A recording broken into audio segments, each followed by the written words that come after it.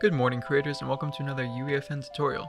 In this episode I'm going to show you how to use decals to create sprays and graffiti in your maps. First you're going to open up add to project, visual effects, and a decal actor. You want to move it close to the ground so it will appear on the ground, like that. And it has a default texture. You probably don't want this texture, so to do to create your own texture you're going to open up material, create a material, just gonna make a default name for that.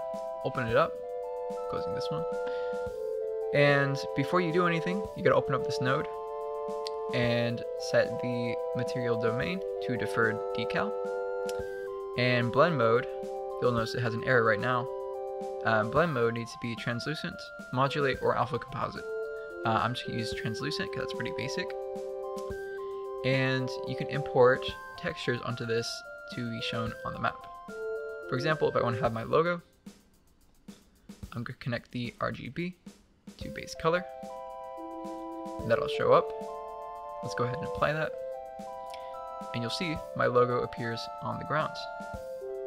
Now there are probably some settings that can make it more contrasted and less reflective.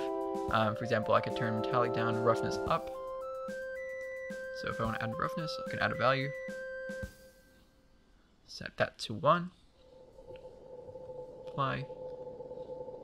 And you'll see it's a little bit more rough. There's still some issues, but I'm not using that texture at the moment, so I don't need to worry about it. If I wanted to maybe map a, maybe like a terrain kind of texture, I can open up my terrains, pull that in, and get my base color, my normal and my various nodes here. This might be flipped, I might be doing this wrong, but it doesn't really matter. Uh, I'm just going to apply that. And you'll see, we've got our terrain right there. And you can move it around, you can map it against walls, and you can rotate it so that it will easily map.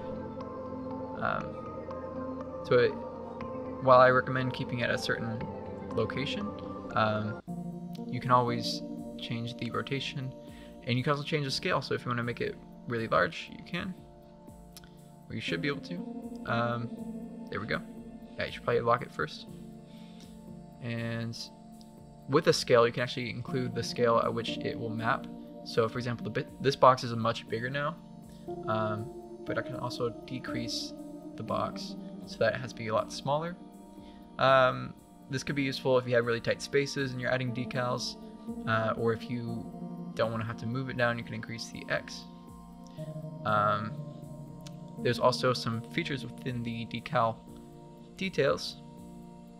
For example, sort order, if you have multiple decals overlaying at once, you can open that up and the, the larger the sort order, the more it's going to be on top. So, for example, if I had another one here and it's at sort order 1, this one would be on top and the sort order 1 would be below because this one's at 4. Fade screen size is going to be how much it fades.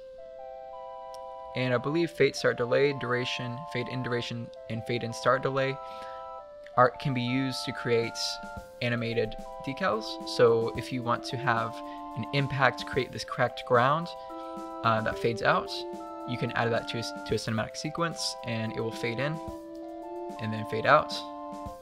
Uh, right now, of course, it's at zero, so it's just gonna stay that way, stay that way. And you can include destroy owner after fade so that it will just no longer render in.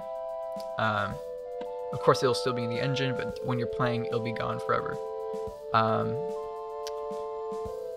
decal size, of course, you can increase the decal size here as well as well as the scale. Um, so if you're just increasing the decal size, I mean, it looks like it does the exact same thing anyways, so this isn't bad. Um, of course, you can make it visible, and got usual settings here. But that's how you use decals in the Unreal Editor. If you found this tutorial helpful, please consider subscribing, leaving a like, uh, leave a suggestion for a tutorial down below, and I hope you all have an amazing day. Good luck creating.